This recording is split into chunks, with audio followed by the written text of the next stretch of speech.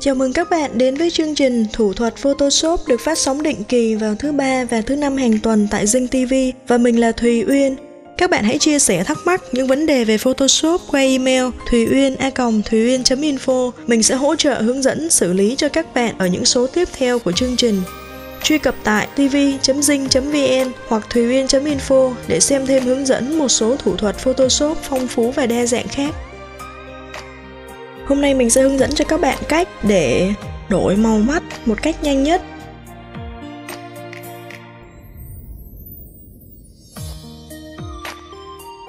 Ở đây mình có cái stop là con mắt này.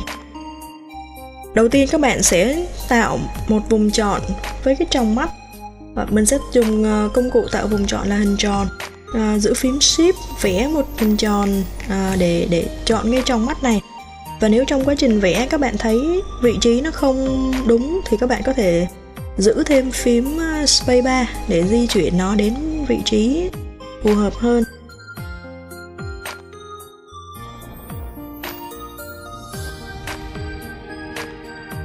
Sau khi đã có vùng chọn của trong mắt ờ, mình vào menu select, chọn modify theater với chức năng này thì à, sẽ giúp cho mình làm cái đường biên của vùng chọn được trở nên mềm hơn.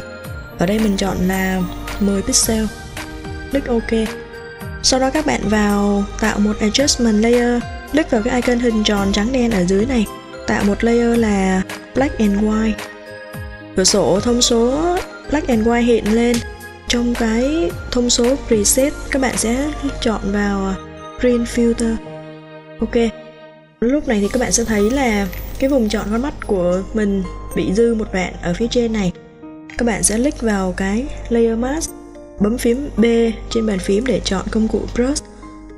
Sau đó tô cho nó một màu đen để xóa cái lớp dư này đi.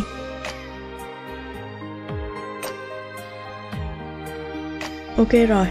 À, bây giờ mình sẽ tạo một adjustment layer là solid color các bạn chọn một màu bất kỳ. Click OK. Sau đó là trong cái layer color fill này, các bạn chọn blending mode là color. Các bạn click phải chuột vào ờ, layer solid color, chọn ờ, create clipping mask với tùy chọn này thì ờ, nó sẽ ép cái hiệu ứng này vào cái layer trong mắt thôi, không ảnh hưởng gì đến bên ngoài hết lúc này thì mình đã có một cái màu khác cho cái trong mắt rồi. Tiếp theo các bạn click đúp vào um, layer thumbnail để chọn một màu nào đó mà mình thấy phù hợp. À, như các bạn thấy thì lúc đầu với cái tròng mắt này ở giữa nó có một cái phần màu vàng khác như vậy. À, nếu các bạn muốn tạo một cái phần màu vàng giống như vậy nữa thì các bạn sẽ tạo thêm một uh, layer adjustment là solid color tiếp thì với layer này các bạn chọn một màu khác. Click phải chuột chọn create clipping mask để nó áp vào cái tròng mắt. À, và chọn blending mode là color.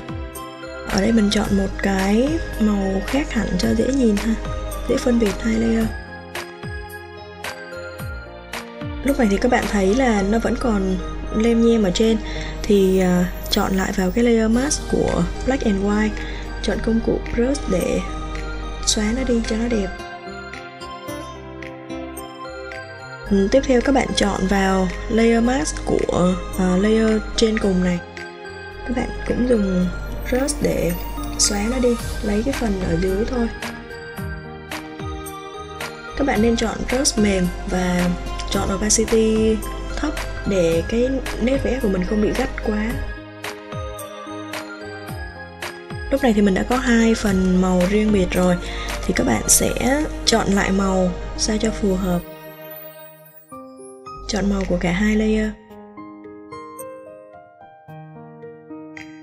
Bước này thì các bạn có thể chọn màu tùy ý nha. À, tiếp theo nữa thì mình sẽ tạo một adjustment layer là curve để mình tạo thêm độ ờ, tương phản cho con mắt này. Nếu sáng tối lại các bạn cũng click phải chuột vào layer curve, chọn create clipping mask lúc này thì các bạn đã đổi được màu cho con mắt rồi. Các bạn có thể so sánh với mắt đầu tiên, màu đầu tiên và màu mình mới tạo. Nếu muốn tạo thêm nhiều màu mắt khác thì các bạn copy nó lên và lại đổi màu hai layer này. Chúng ta sẽ có được à, nhiều màu khác nhau. Đơn giản này không các bạn? Mình hy vọng rằng video hướng dẫn này sẽ có ích cho các bạn và các bạn cảm thấy hứng thú với nó. À, nếu các bạn thấy thích video hướng dẫn của mình thì à, vui lòng giúp mình chia sẻ đến bạn bè của các bạn nhé.